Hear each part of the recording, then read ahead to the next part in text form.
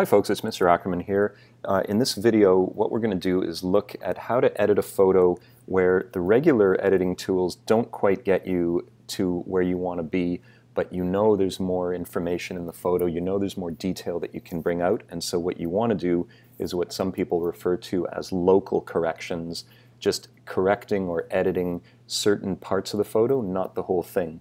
What we've been doing up until now are called, uh, or what I would call global corrections or corrections that hit the entire photo. I'll explain what I mean. I'm in Adobe Camera Raw with a photo that I took in Ireland at a lake called Doolough. It's uh, a lake that's kind of in a valley formed by these mountains on either side. And as you can see in the photo, it's uh, kind of a gray day, which is not a surprise in Ireland. A storm is coming in, it's getting windy, there's some interesting waves here coming in toward the shore. There's a couple rocks in the foreground, and then you've got your, your mountains and sky in the background. So I remember it being a lot more colorful when I was there, and I also remember there being more contrast. This is a fairly, you know, dull kind of image. So let's go and do what we normally do. We might start with exposure and kind of play with that and see where we want it to go. Uh, one thing you'll notice right away, if I bring down the exposure, you start to see there's actually blue in the sky here. But when the sky gets to the way I want, the rest of the photo is too dark. So I don't want it down there. For the rest of the photo, I might want the brightness to be here, but now I lose the detail in the sky. So this is why I'm going to need to do a local adjustment to the sky or somewhere else at some point. So I'm going to set this to approximately the right brightness that I want and just leave it. Okay. Uh, contrast, you know I generally add about 15 or 20 points just off the bat. Let's try highlights. If I bring them down, the sky starts to recover, but not enough, and I also start to lose a little bit of uh, the brightness in the waves. But I think I'm happy with it down here, so I'm going to leave it there. Shadows, if I bring them up, I see more detail in the mountains, but I also start to wash out the photo. If I bring it down, things get too dark, I lose detail. So maybe I'll just go up a little bit. I don't want this to wash out too much. The whites, are going to help with those, uh, those waves. So I'll bring those up, but now I lose detail in the sky, so I really don't know what to do here. Maybe I'll just kind of leave it around zero. And the blacks, if I bring them down, I get nice rich shadow tones, but I darken things up a bit too much. And if I bring it up here, I see detail in the shadows, but I wash out again. So where should I go? I think I'm going to go for rich tones, so down a little bit. Clarity, up we go for more detail and contrast, down for a dreamier sort of look. Landscapes I like to be more detailed and a little bit sharper, so I generally add a bit of clarity. Dehaze is uh, similar to clarity, but it's easy to overdo it.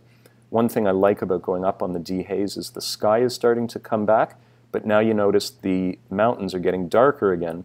So I might raise the shadows a bit. Not totally happy with that up on the whites for, for these waves.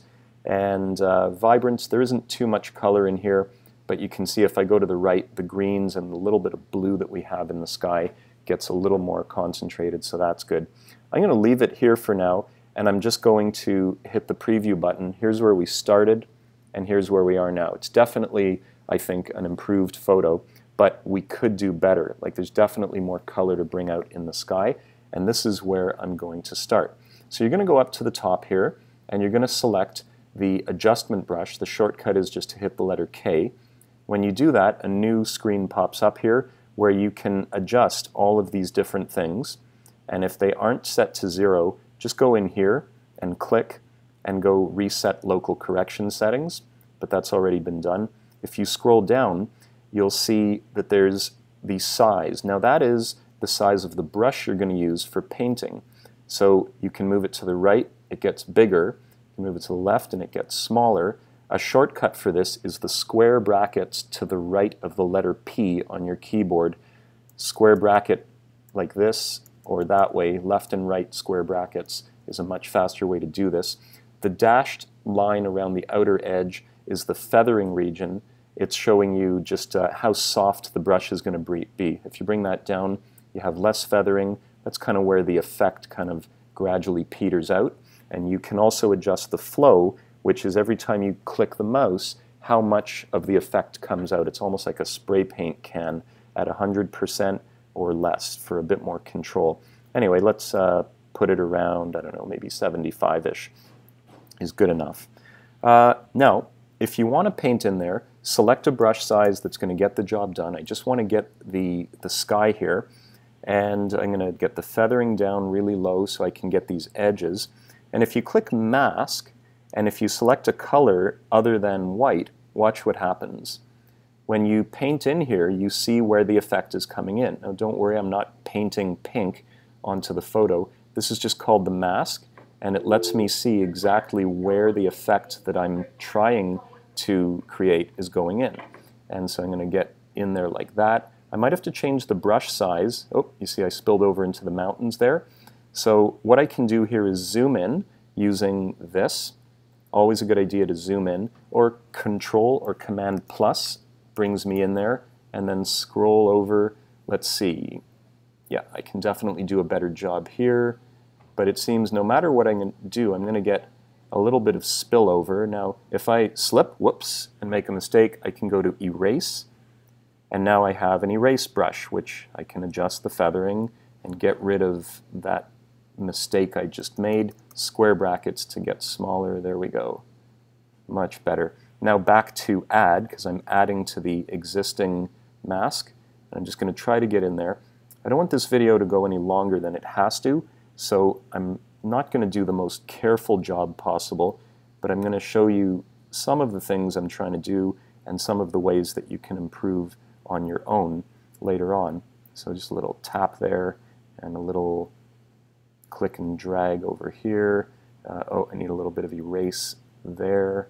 And uh, in a minute we're going to have a look at this. So Command or Control 0 to fit back into the field of view. Turn off the mask. And now with this pin activated, whatever I do up here is going to affect the area I painted. Like if I darken this all the way down, it looks terrible, and you can see the parts where I missed, so I can add that, whoops, sorry, I'm erasing here. I can add that back in like that to make sure I didn't miss anything. And I can also control plus get right in there and see these little areas where maybe a smaller brush size would do a good job. But it seems no matter what, I'm always kind of missing or going a little bit too far. So here's a suggestion here. If you take your brush size and you make it bigger, and you also increase the feathering by a lot, and then just kind of paint over using, see what's happening there? I'm just painting and letting the feathering hit those areas, and then get a little bit smaller. You'll start to gradually fill in those, those weird edges. And that way, your selection, which is kind of what we're doing here, we're selecting an area, will look a little bit more natural. So let's go back and let's up that exposure. Here's where it started at zero. And now you see when I bring it down a bit, you don't have that glowing edge so much. A little bit of it up there, which I can try to fix. That's looking a bit better. Don't go too far or you'll have this. Uh, Control or Command Z to go back a step. Anyway, you can fix this kind of stuff up on your own. I don't want to make the video longer than it has to be, but let's pretend that I like the way it looks here. I can always click the before and after preview button to see if I'm happy. Uh, here's another thing I'd like to do. I'm going to go for a new brush. You see this pin is no longer active, so new brush. And I'm going to reset the local settings. Oops. And this time, I think what I want to do is brighten up these breaking waves to make them a little more dramatic. So turn on the mask again, select a brush size that will cover your area along with feathering, and let's put a little bit of that into there. And what I'm going to do in a moment is I'm going to maybe up the exposure a little bit and also uh, maybe try to use clarity or highlights or whites to kind of bring out that energetic aspect of those waves. So turn off the mask and uh, let's see what I can do. Should I up the exposure? Not too far, it looks ridiculous, but maybe just a bit. Uh, how about highlights? That's a more subtle effect, maybe a little bit. How about the whites? If I bring those up, sorry about the loud announcement that's coming through in the background. That'll, that's because I'm recording this at lunch and there's a lot going on in the school. But there we go. And uh, let's now look before and after. So before, after. It's getting a lot more dramatic. Uh, one last thing that I'll show you that you might do, you might paint over the mountains, and this would be a tougher job because things get narrow down here. You'll be changing your brush size a lot. You might paint on just the rocks, brighten them up and bring out some detail. You might darken these areas through here. Whatever you choose to do, you can make the photo look however you want.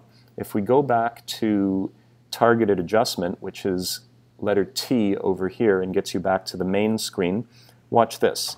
If I push this button before and after, I see the entire image before and after. And I think you'll agree with me, it's getting more dramatic and more interesting. So I hope you uh, have learned something here and you can apply this to your other photos. I'm going to give you this photo to play with in the G-class assignment. And after that, the assignment will be to continue doing this to other photos of your own. All right, thanks for watching and have a great day. Bye now.